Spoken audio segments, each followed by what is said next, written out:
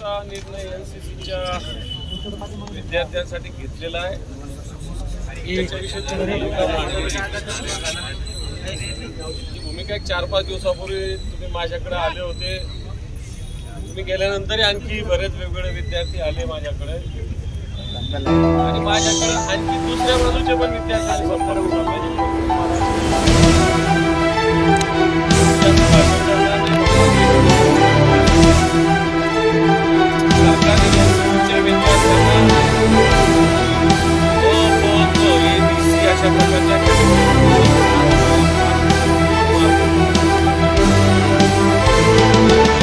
च्या विद्यार्थ्यांनी पोलीस भरतीत यावं त्याला प्रोत्साहन मिळावं हे शंभर टक्के खरं आहे. परंतु जर एनसीसीच्या विद्यार्थ्यांनी तर आता एनसीसीचं किती कॉलेजमध्ये एनसीसी चालू आहे हा माझा प्रश्न आहे.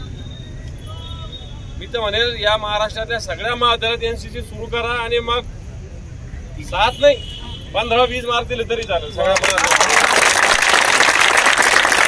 बरोबर आहे आपण काही एनसीसीच्या विद्यार्थ्यांच्या विरोधात असायचं काही कारण आहे ते आपलेच भाऊ आहे पण मोजके शंभर कॉलेज असेल तर दोन कॉलेजला एनसीसी नाही. आणि मग एनसीसीच्या कॉलेजच्या विद्यार्थ्यांना सात गुणाचं पाच गुणाचं दोन गुणाचं रिझर्वेशन देणं मला वाटतं कोणी एखाद्याने मागणी केली असेल केंद्र सरकारने सांगितलं असेल.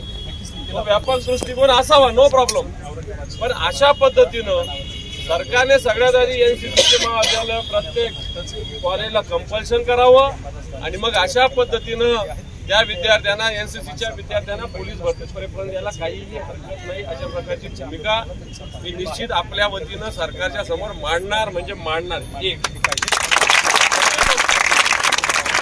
मग एनसीसीच्या विद्यार्थ्यांना दिलं नाही पाहिजे का? दिलं पाहिजे. पण देत असताना या एनसीसीच्या विद्यार्थ्यांना माझं वेगवेगळ्या कॅटेगरीला आपण कुठे एक टक्का टक्के, सचिन भाई. चार टक्के. नहीं नहीं थोड़ा नीचे करो. कुठं पाच टक्के कुठं सहा टक्के. अशा पद्धतीने आपण रिझर्वेशन देतो. तर मी सरकारला सांगेल एनसीसीच्या विद्यार्थ्यांना निश्चित अशा पद्धतीनं राखीव जागा द्याव्यात. परंतु आज होतं काय? तुम्हाला एकशे पंचेचाळीस मार्क पडले. आणि त्याला एकशे पंचेचाळीस मार्क पडले. तर त्याचं नॅचरली एकशे बावन्न आपोआप होतं. म्हणजे एकशे पन्नासच्या वर सुद्धा तो जाऊ शकतो.